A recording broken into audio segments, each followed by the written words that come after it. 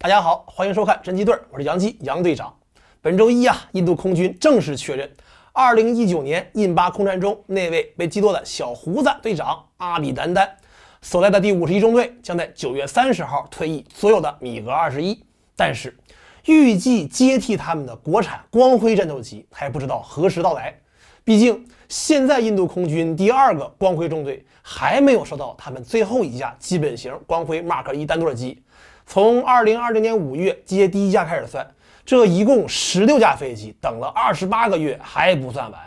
而接下来，印度斯坦航空就要力争年内交付首批四架光辉 Mark 一的双座机，计划是明年再交四架，平均分给这架光辉中队。而据 HAL 消息人士称，光辉的航电升级型 Mark 一 A 已于今年五月秘密首飞，按计划，它将使用印度自行研制的乌塔姆哎有源相控阵雷达。印度空军啊订了七十三架，计划是从二零二四年开始交付。当然，印度空军那也是久病成医，心中有数，还是为他采购了二十部以色列埃尔塔五零五二型有源相控阵雷达，保证第一个 Mark 一 A 中队至少啊别因为雷达被坑成白天型战斗机，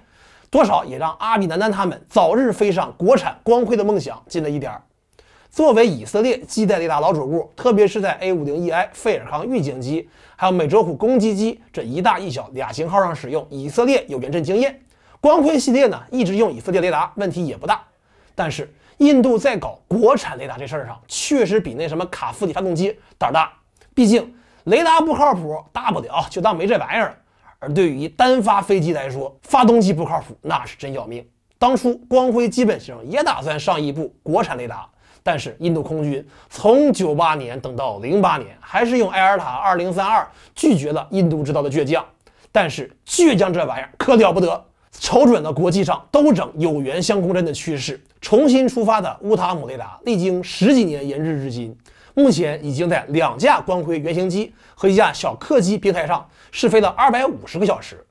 虽说啊，咱们当年歼十试飞基本型的。机载火控雷达尽管是一个传统的平板缝隙天线，那试飞时间都是乌塔姆的好几倍了，难免让人对乌塔姆这回靠不靠谱产生怀疑。但反正有以色列货顶着，印度啊还有时间把它再好好搓搓。不过印度对乌塔姆信心挺足，现在是一方面准备为后五十三架 Mark 一的雷达备料，另一方面啊准备为这个月初刚刚获得六百五十亿卢比，差不多是五十七亿人民币。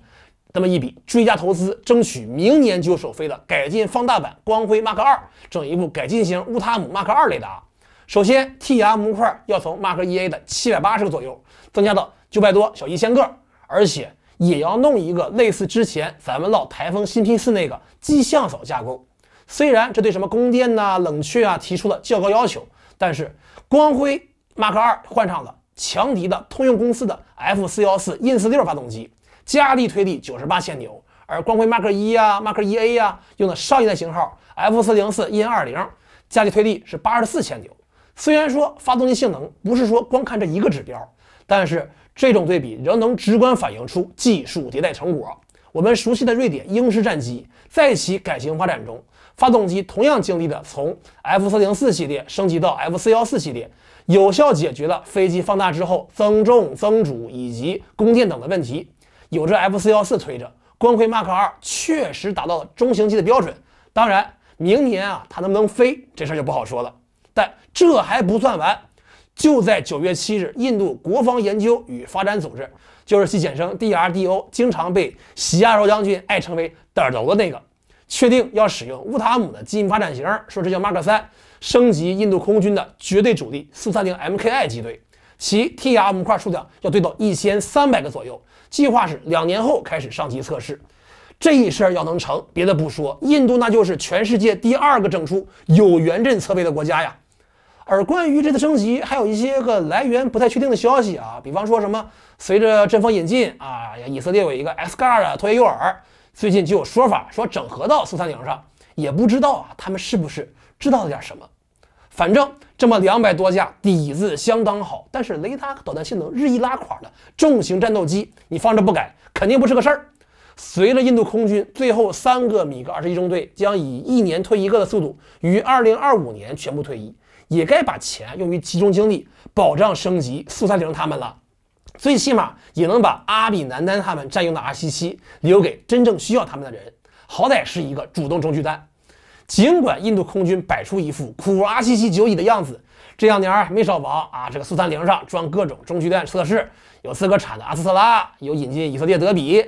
但就算他们过两年真的开始拿国产有源阵改装苏三零，更好的与这些个自研的还有其他国家导弹整合，那也有个过程。而且就现如今那面的情况，这都整成什么部分动员了是吧？印度你想整什么新批次的 R 七七补充补充，估计啊一时半会儿也没戏。你看眼巴前对面的 AM 幺二零 C，还有 PD 十二、PD 十五，再想想两年前差不多也是这个时候。喜马拉雅山那面喊出的战斗口号：“打下苏三洞，杀敌立大功。”本是同根生，为啥是他要拿我立大功？在这种精神内耗之下，印度肯定希望把苏三零 MKI 升级到真正能拿到西方三代半水准的超级速火翼。但是指望俄罗斯拿出这样的套件又不现实。反正苏三零原本就用了一些法国呀、以色列的件儿，那就再整点啊，南是买配头，北是买长边，啊，这种操作。送到原厂一样一样给升级上去，但是现在这个情况，把飞机送回去肯定不方便了，哪有那功夫给你升级呀？整不好给你扣那儿，哎，当这么苏三零 SM 就给用了，那正好就坡下驴，就在 HAL 升级，还符合现在印度的自主政策，而且这样一来，在印度升级苏三零，还能让现在啊不方便把自个儿家产品送到俄罗斯进行整合测试的其他国家来到 HAL 共襄盛举，是一起哈皮。我们就说机载电子战设备。这东西往往属于各国军事科技的高度机密。之前苏三零 MKI 测试过以色列埃尔塔的 ELL 八两两两自卫干扰吊舱，但是呢，要想整出伴随干扰的效果，还得寻摸点高级货色。毕竟这两年巴基斯坦的中远程地空导弹系统迎来大升级啊！甭管是找法国人，还是找老相好以色列解决，苏三零 MKI 这么一个潜力很大的战术飞机平台都值得利用。说到印度啊，有可能找以色列改装苏三零这个事儿。相信有不少读者肯定已经想到野狼欢老师的经典作品《国家意志》。在这部架空印巴爆发全面战争的小说里，设定是印度几乎拿到了所有的西方发达国家，包括日本等国在内的武器乃至人员支援。虽然说围绕印度空军苏三零七队妥善率有着种种传言，升级呢有远征这事儿呢也不是说变就变，但是印度全球扫货的便利环境确实客观存在。这些年的攒机经验积累下来，咱们还要说一句：料敌从宽。观察者网是一家独立而负责任的新网站，我们秉持全球视野、中国关怀理念，为大家制作节目。想支持我的朋友可以加入付费会员频道观察员，年费一百九十八，使用邀请码五二八一可以立减十元。现在充值和续费用户还有机会领取官网限量版徽章一件。数量有限，大家赶紧行动吧！本期这期段就到这里，咱们下期再见。